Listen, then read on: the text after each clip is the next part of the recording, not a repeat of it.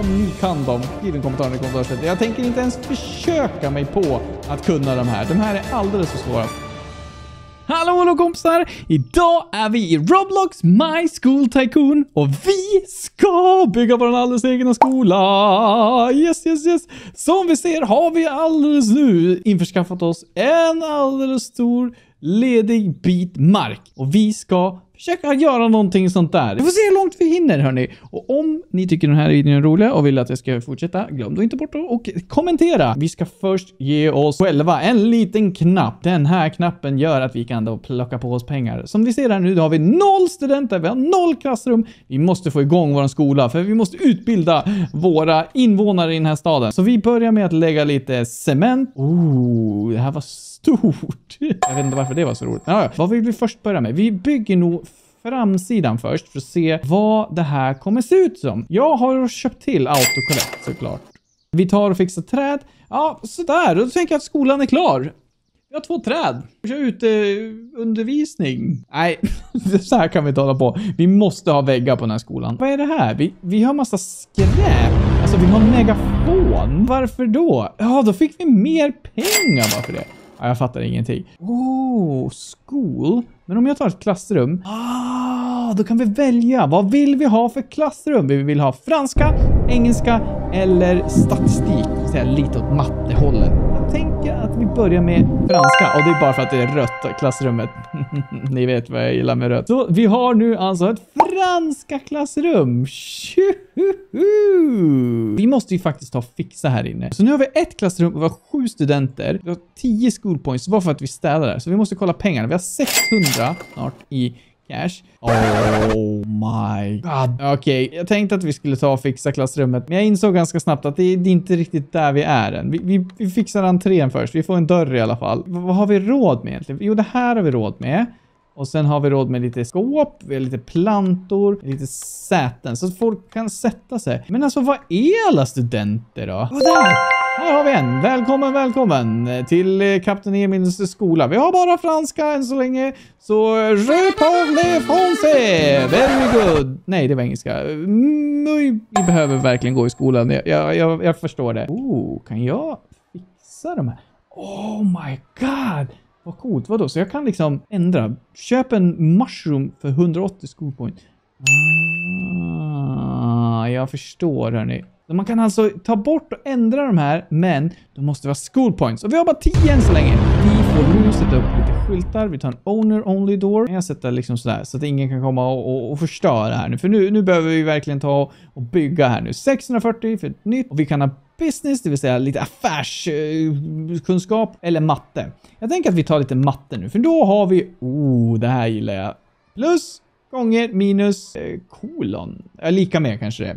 Jag är väldigt bra på matte, som ni förstår. Oh, undrar vad de här dörrarna gör. Om har ni spelat det här spelet och vet vad dörrarna gör, då vet ni vad ni ska göra. Ni måste ta och kommentera i kommentarsfältet vad de här hemliga dörrarna gör för något. Det kanske låser upp nästa våning, vem vet? Nej, men vänta här nu. Är det någon som har slängt en bok?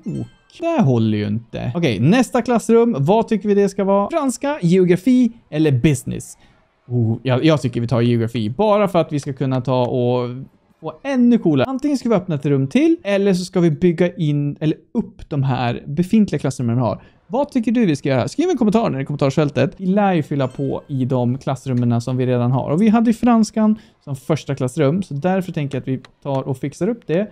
Ja men hallå monsieur eh, Jean-François Baguette. Nej, jag kan inte franska.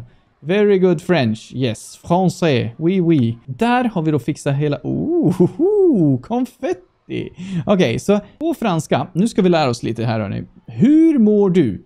Ça va? Hur mår du? Ça va? Och hallå, mitt namn är... Bonjour. Je m'appelle. Och sen Emil, eller Kajsa, eller Bertil, eller vad det nu är. Okej, vi måste också ta och fixa upp matteklassrummet, eh. Så vi tar och fixar det där. Vi sätter upp lite bord. Vi fixar ett, en professor.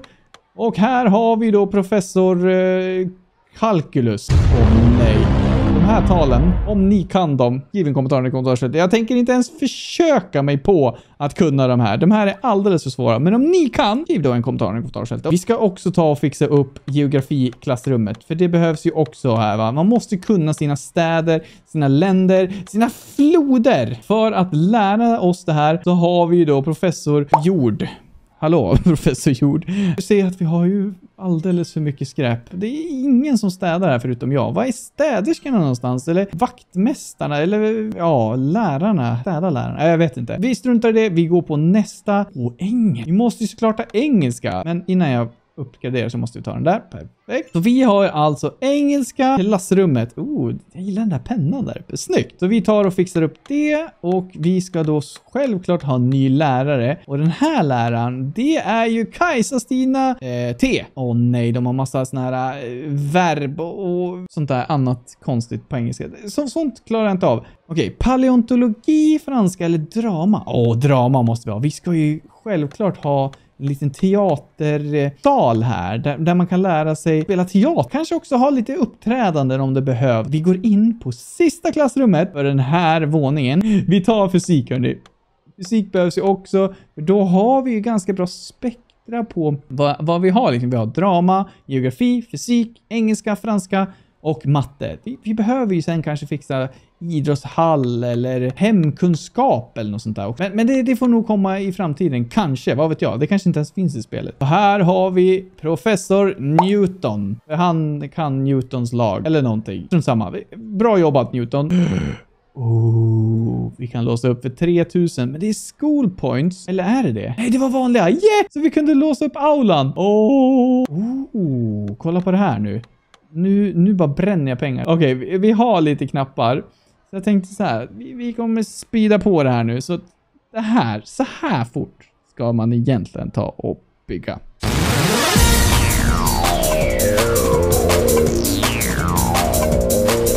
Och där hörni har vi hela våran aula färdig. Och vi har även anställt en ny lärare som heter Hanna Palett. Ja, man ska inte döma någon efter ens namn. Men sådär hörni, då har vi ju våning nummer ett klar.